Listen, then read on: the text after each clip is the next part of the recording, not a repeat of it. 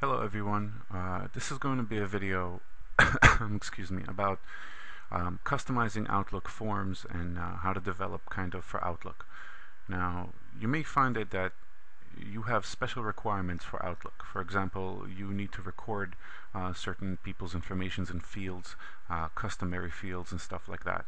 And I'm going to show you two ways to customize Outlook. Well, first let's head on to our File tab, and uh, I'm using Outlook 2010 and I'm going to click on options. Uh, and in options I'm going to head over to customize ribbon. And you'll see here that there is a tab as a checkbox here that it usually comes unchecked. It's called developer okay? So let's check that box. Now I already had it checked but I'm just letting you know. When you enable the developer tab and you click OK when you go to create a new email you're going to see you will now have a developer tab up here so when you click this developer tab, you'll see that you have the ability to customize this form, and as a matter of fact, you'll be able to customize any form uh, in Outlook. It's a really, really nice, powerful tool uh, that allows you to add additional fields. So I'm going to uh, design the email form, for example. I'm going to click on Design this form, and you'll see here to my right I have a field chooser, and that's going to allow me to put in any fields that I want into this email message uh, and it's also going to allow me to create new fields. So for example, when I create a new field, you'll see it asks me what type of field I want to make, a string, text only, a number, which is numeric only, a percentage, a currency, which is a dollar value, a yes and no, which is just a drop down with a yes and no, uh, date and time, duration keyword combination formula, and lastly integer. Uh, I'm not going to create a new field. I'm going to show you guys just how to add your own field. Now you'll see here I can actually change the size of the boxes of everything so I can just grab on this box move it aside for example um, and I can let's say take the category field and drag it right over to our form uh, let's add in the created in here as well uh, let's add in the due date let's continue by adding in the secondary message form. So now I have two uh, message boxes. As a matter of fact, that part was useless because I already have a message box to my right, right? So I don't really need it. So I just created some form and I'm going to publish this form and I'm going to select publish form as and I'm going to save it as untitled. Now I'm going to show you something very cool. When I exit here and I go to new item, instead of clicking new mail, I'm going to click on new items and I'm going to select more items the very end and I have here the choose form uh, option in my drop down so I'm going to select choose form and I'm going to go to my personal form library where I have my untitled form and here is the form I just designed. Now it looks like crap because I haven't put any time into it. I just quickly made some changes uh, and you'll see that I can actually write an email and put in these fields and when the email returns or when I go to the form sent mail I'll see all the fields that I put in so this is just an easy way of, of uh, customizing a form. Uh, remember that developer tab is very, very powerful. Uh, let's go to my X, for example, uh, and I'm going to click on Zach over here. Uh, is a good buddy of mine. And I'm going to click on developer and I'm going to click on design this particular form. And you'll see that I'm able again to add my own fields to this form and customize it. And this is just context from LinkedIn. I mean, this is nothing really out of the ordinary. But the magic that I want to show you guys actually is in Business Contact Manager, which is extremely powerful uh, tool for Outlook. Um, I'm going to go to my content management and I'm going to create a new business contact.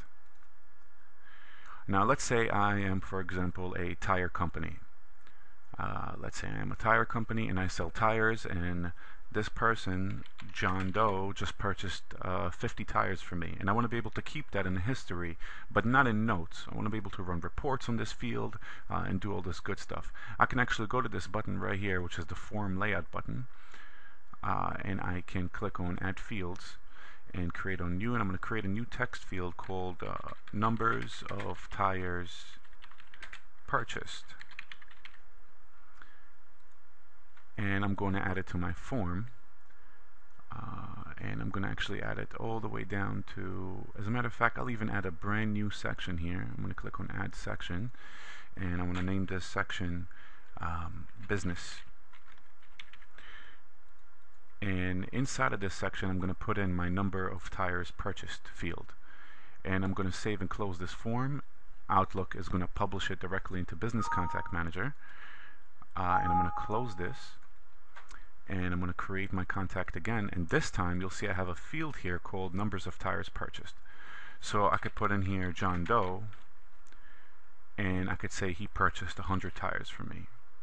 And I can save and close this form now the very beauty of this is I can actually add that field right here into my view and I can customize this in a way where I'm able to see it at all times. So here I have John Doe, and here I see numbers of tire purchased.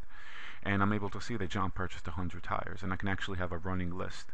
And this comes very useful with reports also. When I click on reports in Business Contact Manager, you'll be able to see that if I go to my business contacts and I say, give me a quick report on my business contact list, I can actually filter this out and say, show me customers who only purchased um, 100 tires.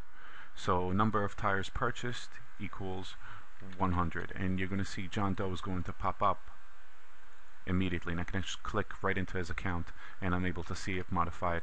So this is just a quick example about um, how really strong and powerful Outlook is.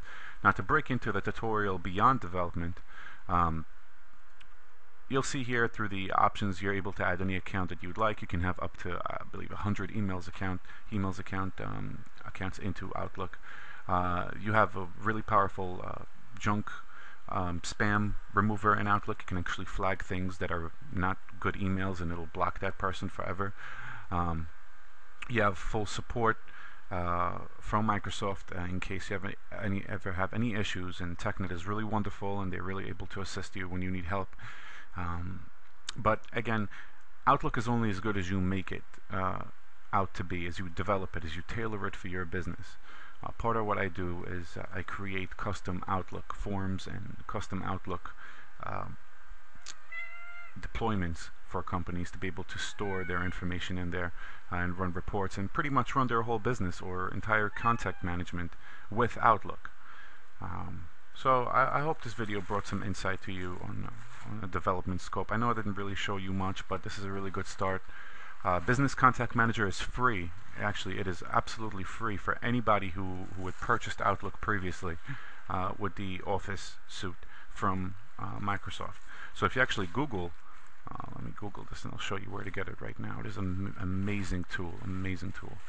I'm going to go to Google and I'm just going to simply type in uh, Business Contact Manager 2010 and I'm only using tw version 2010 so you're aware. I'm not using anything but version 2010 um, you'll be able to see here the first link from office at microsoft.com I'm actually I'll be able to download this directly from Microsoft. It is absolutely free uh, and it is it is actually very very very very awesome. So in case you ever have questions or anything about this kind of thing you can uh, always email me um, you can email support at dangerstudio.com or uh, Ilan at dangerstudio.com. As a matter of fact, if you go to my website, you can actually read more about Business Contact Manager. I actually, I actually put a post in here.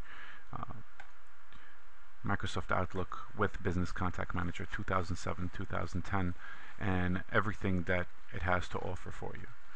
So I mean it is it is a great great tool uh, highly recommended and uh, hope this video taught you guys something. Thank you for watching and tune in for more great videos. Thank you.